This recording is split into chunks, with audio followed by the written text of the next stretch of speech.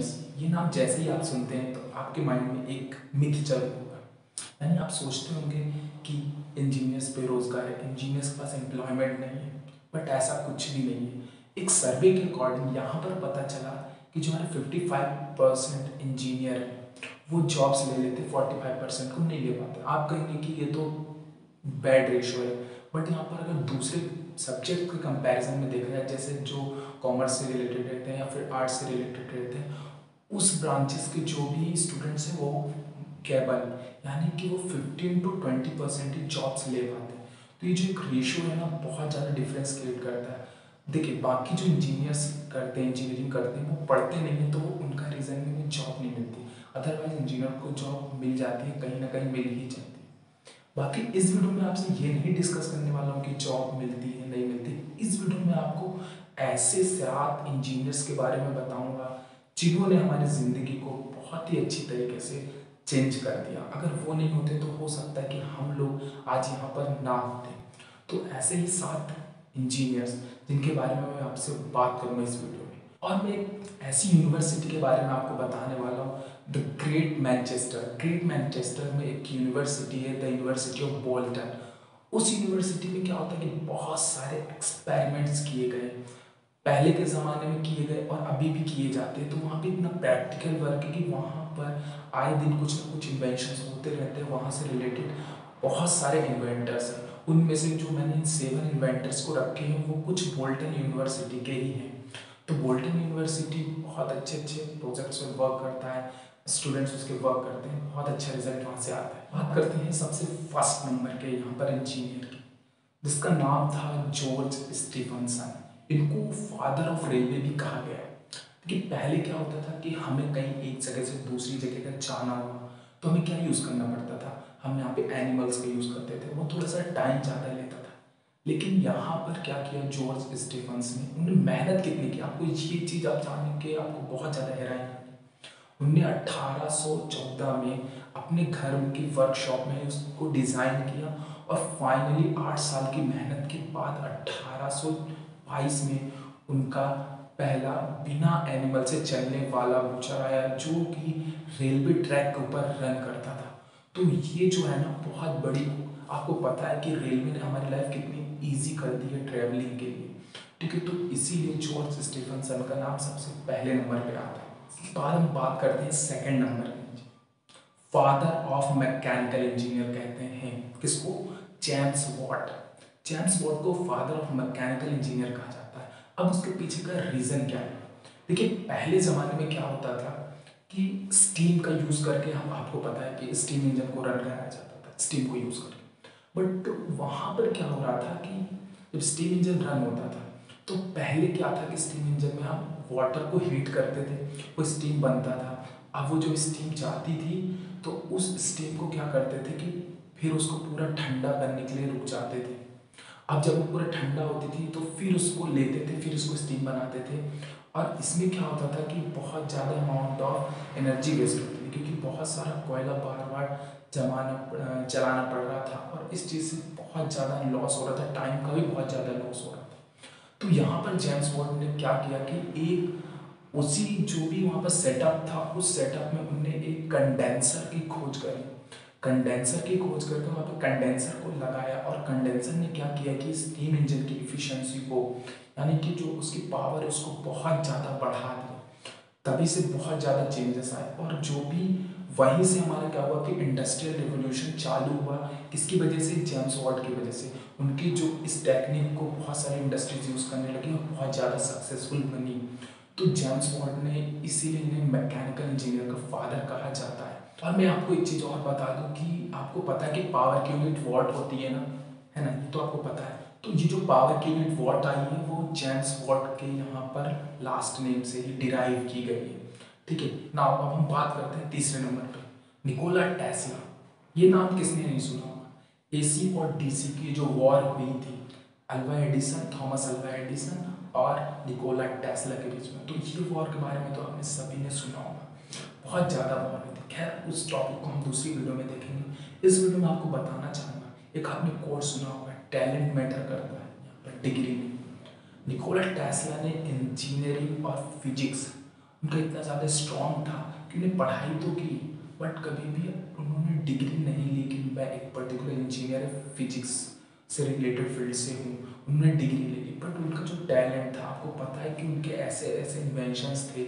अगर वो world wide अगर वो हो जाते खैर, वो बात अलग है कि वहाँ पर उनके ऊपर इन्वेस्ट नहीं किया गया पैसा। अगर इन्वेस्ट किया जाता तो हो सकता है कि अभी हम जो इलेक्ट्रिसिटीज़ को यूज़ कर रहे हैं फ्री में यूज़ कर रहे होते हैं ऐसा कहा जाता है। ठीक है, अब बात करते हैं नंबर फोर की। रडोल्फ डीजल देखिए डीजल आपने सुना जी ना ये डीजल इंजन जो है, हमारे यहाँ पर चलते हैं ट्रेनों में। और भी ज़रूरी नहीं ट्रेनों में डीजल इंजन चलते हैं। जो भी हमारे इंटरनल कंबक्शन इंजन यानी कि जो हमारी कार्स चलती हैं बाइक्स सभी के ऊपर इनने इंटरनल कंबक्शन इंजन के ऊपर वर्क किया। चार साल एटीन नाइन्टी थ्री से एटीन नाइन्टी सेवन तक इनने इतने फेलर्स देखे। कई बार तो एक्सप्लोजन्स हो गए, फट गए। उसके बाद भी इन्हें चार साल की मेहनत के बाद finally diesel engine internal combustion engine बनना गया और इससे आपको पता है कि कितनी लाइफ हमारी ईजी हुई। अब बात यहाँ पर आती है कि रडॉल्फ डीजल ने ऐसा क्यों किया? वो वो भी तो छोड़ सकते थे ना, जब वहाँ पे बहुत सारे फेलर्स हुए। देखिए उनका कॉन्सेप्ट ये था कि जब उन्होंने स्टीम इंजन को देखा तो वहाँ पे देखा कि जो 90 परसेंट एनर्जी जो है, हमारी जो भी 90 परसेंट पावर है एनर्जी वो बेस्ट हो रही थी। तो उन्होंने ऐसा सोचा कि मैं क्यों ना स्टीम इंजन को रिप्लेस करके और एक डीजल से चलने वाला पेट्रोल से चलने वाला इंजन लेके आऊँ। तो उन्होंने बहुत वर्क करने के बाद यहाँ पे डीजल इंजन लेके आए। यानी इंटरनल कम्बक्शन भी कह सकते हैं, वो लेके आए थे। नंबर फाइव चार्ल्स बैबेज ये नाम आप सुने, नहीं सुने? मैंने तो सुना, बहुत ज़्यादा सुना है। क्योंकि देखिए चार्ल्स बेबेज का अगर आपने नाम नहीं सुना तो हो सकता है कि आप किसी का भी नाम नहीं पता। चार्ल्स बेबेज जो थे फादर ऑफ़ मैकेनिकल कंप्यूटर उन्हें कहा जाता था। मतलब उनने ही कॉन्सेप्ट दिया कंप्यूटर का, कि किस तरीके से हम कंप्यूटर का यूज़ करें। बट वो मैकेनिकल था। ठीक है मैकेनिकल था यानी कि उसका रिज़ल्ट थोड़ा टाइम लेता था। Two days one and half days ऐसे ऐसे टाइम को लेके वो एक रिज़ल्ट देता था। बट ठीक है, उस टाइम पे जो मैंने इन्वेंट किया था मैकेनिकल कंप्यूटर उन्होंने पूरी तरीके से चेंजेस ला दिए। उसके बाद उसी में इन्वेंशंस होते गए और आज के ज़माने, आज की टेक्नोलॉजी आप देख सकते हैं कि क्या है। बट हाँ चार्ल्स बेबेज को यहाँ पे फादर कहा जाता है कंप्यूटर का। बात करते हैं सिक्स अब आ गया नाम यहाँ पे थॉमस एडिसन थॉमस एडिसन का नाम यहाँ पे आया। देखिए थॉमस एडिसन जो थे, वो क्या करते थे? कि उन्होंने जब बल्ब का इन्वेंशन किया, देखिए, वो बहुत ज़्यादा थॉमस अल्वा ऐसा नहीं कि जो यहाँ पे इलेक्ट्रिसिटी की वॉर होती है उससे कुछ उनकी बुराइयाँ हुई। बट उन्होंने भी बहुत ऐसे इन्वेंशन दिए। कि निकोला टेस्ला और एडिसन के बीच में बहुत ज़्यादा वॉर हुआ। वो वो अलग बात है। लेकिन जो एडिसन ने इन्वेंशन दिया, हमें लाइट बल्ब का फिलामेंट वाले बल्ब होते हैं उसका उन्होंने इन्वेंशन किया। और वो उन्होंने इन्वेंशन अप्रॉक्स थाउज़ेंड टाइम्स उन्होंने उसका एक्सपेरिमेंट के इतने फेल्योर में तो कोई भी इंसान करना छोड़ देगा। बट वो लगे रहे डेडिकेशन से उनने बनाया यहाँ पे बल्ब और जब उनका बल्ब बन गया, ठीक है, उनके और भी इन्वेंशन से मैं बात करता हूँ बल्ब की। तो उन्होंने पहले जो डीसी जनरेटर्स होते थे, ठीक है जनरेटर्स क्या करते थे कि यहाँ पर जो भी जनरेटर्स हैं, वो इलेक्ट्रिसिटी प्रोड्यूस करते थे। तो इन्होंने अपने बल्ब को जलाने के लिए, जब उनका एक्सपेरिमेंट सक्सेसफुल हुआ तो अमेरिका में इन्होंने शुरू में नाइनटीन या ट्वेंटी वन जो घर थे उस सोसाइटी में, उनको लाइट देने का यहाँ पे कॉन्ट्रैक्ट लिया और उन्होंने वहाँ तक लाइट सभी को प्रोवाइड की। वो जो थे एडिसन थे, वो सबसे पहले इंसान थे जिन्होंने इलेक्ट्रिसिटी को एज अ बिज़नेस यूज़ किया था। ठीक है, वहीं से क्या हुआ कि आगे बढ़े। बट आपको पता है कि डीसी करंट जो होता है, वो बहुत ज़्यादा दूर तक ट्रांसमिट नहीं हो पाता है। ये सबसे बड़ा रीज़न है कि एसी ने डीसी को रिप्लेस कर दिया, यानी एडिसन ने बहुत मेहनत किया, बहुत ताकत लगाई बट एसी करंट को वो पीछे नहीं कर पाए। क्योंकि देखिए, सबसे बड़ा रीज़न क्या था कि जब भी आपको डीसी करंट की ज़रूरत पड़ती थी, आपको सेटअप बहुत बड़ा लगाना पड़ता था। बट ऐसी करंट में ऐसा नहीं होता था, उसको एक बार बना के और दूर तक ट्रांसमिट कर सकते थे। पर बट डीसी करंट के साथ ऐसा कुछ भी नहीं था, उसको बहुत ज़्यादा क्योंकि वो एक पर्टिकुलर लाइन में फ्लो होता था और इससे जो भी बहुत ज़्यादा वायर के अंदर रेजिस्टेंस होता था, उससे वो ज़्यादा दूर तक नहीं जा पाता था। खैर, इस बात को छोड़ते हैं और हम आगे आते हैं कार्ल बैंस की ओर। देखिए कार्ल बेंस एक ऐसे साइंटिस्ट थे ऑटोमोबाइल साइंटिस्ट थे ऑटोमोबाइल इंजीनियर्स कह सकते हैं तो उन्होंने क्या किया कि सबसे पहले जो है, देखिए, पहले भी बना था यहाँ पर ऑटोमाइल इंजन बट उसको प्रैक्टिकली कौन लेके आया? कार्ल बैंस ने। कार्ल बैंस ने 1885 में प्रैक्टिकली मोटर वैगन करके थ्री व्हीलर करके थ्री व्हील्स में कौन लेके आया? कार्ल बैंस लेके आया थ्री व्हील में मोटर वैगन नाम की एक गाड़ी लेके आया, यानी कि वही कैरेज कह सकते हैं थ्री व्हील्स बट उसके बाद उन्होंने क्या किया कि अपना दिमाग थोड़ा सा दौड़ाया और 1886 में उस गाड़ी का जो मोटर वैगन कैरेज था, उसका यहाँ पे खुद उन्होंने पेटेंट ले लिया।